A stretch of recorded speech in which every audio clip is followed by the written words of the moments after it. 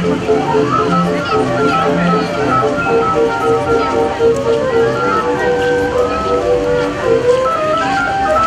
Изготовление шарманки заняло у Леонида Ивановича полгода. Музыкальная шкатулка из березы и других специальных пород дерева в точности повторяет стиль европейских уличных органов. Шарманка появилась в Италии в 17 веке в католических и протестантских церквях. Лишь спустя сто лет она дошла и до России. Однако, по словам Леонида Гурьяновича, до сих пор производством шарманок занимаются только в Европе. Шарманки сейчас производят очень-очень разные.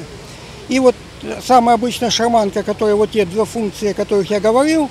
А кроме этого, сейчас, допустим, ну так называемые концертные шарманки, где э, при регистр, отодвигается регистр, весь тембр звуковой совершенно меняется.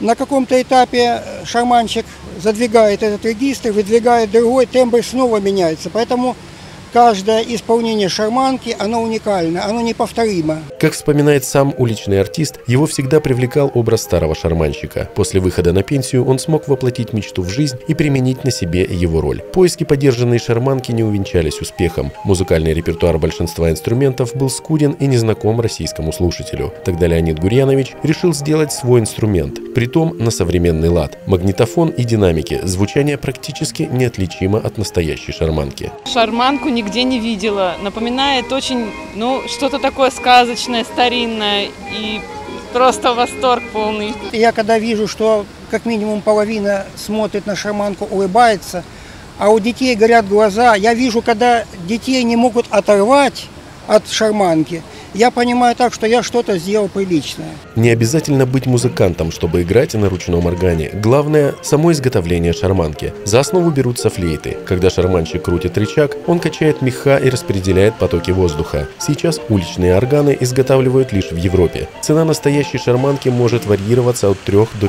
50 тысяч евро. Однако трудности не остановили уличного артиста. Теперь, проявив находчивость, Леонид Иванович выступает в городах Краснодарского края, знакомя жителей и туристов с европейской культурой на современный лад.